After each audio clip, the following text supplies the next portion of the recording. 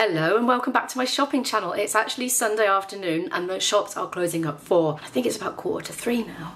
Yeah, it is. So I'm going to nip out now, get to my Tesco and do some shopping. And I'm really hoping there'll be some reduced to clear, but I don't know if there will or not at this time. Anyway, I want to do sausage and mash tonight, veggie sausages and mash. And I've got veggie sausages in the freezer, but I'm going to leave them in there and see if anything else is reduced that might usurp this choice if I see anything worth seeing. Anyway, right, let's go before the shop shuts. I just put my hand in a load of wet. I've made it to Tesco in a flash, went power walking down the road, got my trolley, and look, I'm amazed to see they've got these on special offer, £4.50 with a club card. Can't believe it. Normally you'd expect to see this when the Christmas stock comes in, wouldn't you? So they've got Roses, Quality Street, Heroes, and Celebrations, and they're all £4.50 or £6 without a club card. Back to school stuff is here, and I'm seriously thinking about doing a little mini series of back to school stock videos specific to different shops. Would you be interested in that? I would like to know.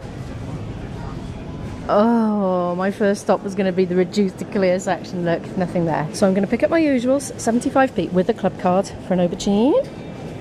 I'm not buying courgettes because I've got courgettes growing in my garden, although they are yellow and very teeny tiny. I want something green and that is going to be broccoli. That's 82p for one of those. That's going to go in tonight's dinner with mashed potato and veggie sausages. I'm also going to buy some green beans to have at some point later in the week. These are 85 pence. I want a sack of spuds, £1.35 for these. Tesco. Oh, those are in the wrong place. Look, these are the white potatoes. In that goes. I've been out of mushrooms for days and I've even run out of all my frozen ones.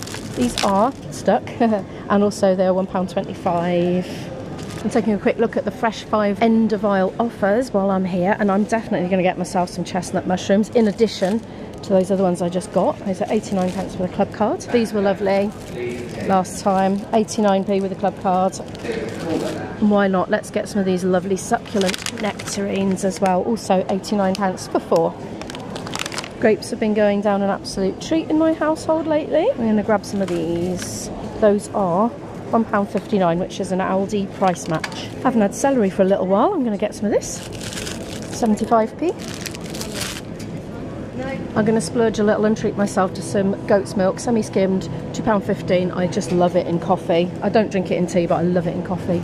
Well, I have had it in tea. It's all right in tea as well, but I save it for coffee. As per usual, I'm going for some Onken. Oh, this is what I normally got. I accidentally got that one last time because I did an online shop. The same price though. This is the set one, £2.50 for that.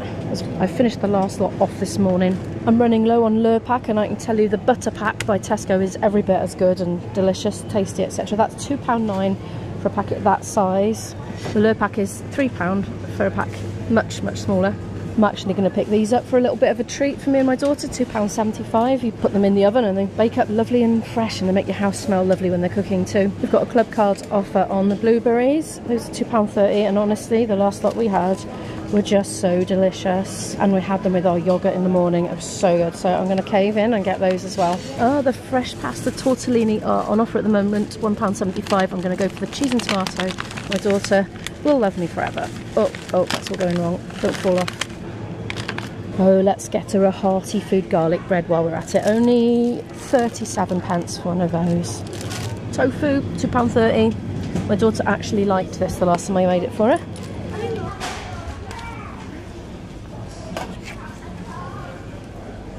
Loop the loop, as my dad used to call it. Loop the loop. I think that must be Cockney rhyming slang for soup. That's 62p. They've got a broccoli and Stilton one. I have actually got a soup maker, but I haven't been very organised recently to use it. So I'm going to try a broccoli and Stilton one. I'm, I will get back into it. It's just I've been so busy with my music work that I haven't had time to think about it. I don't usually stop and look at the soups, but let's have a quick look at what Tesco's own range is because they've got a lot of different ones for 62p and they've got some even cheaper ones down the bottom. So they've got lentil and bacon soup, minestrone soup, they've got pea and ham, oxtail, scotch broth, chicken and mushroom, cream of chicken, and what prices are, this is the same price, vegetable soup, broccoli and Stilton, cream of mushroom that I just bought, oh low fat lentil and vegetable soup, a low fat tomato soup as well, and down here for 55 pence we got the Stockwell brand, there's a chicken soup, a vegetable soup and a tomato soup.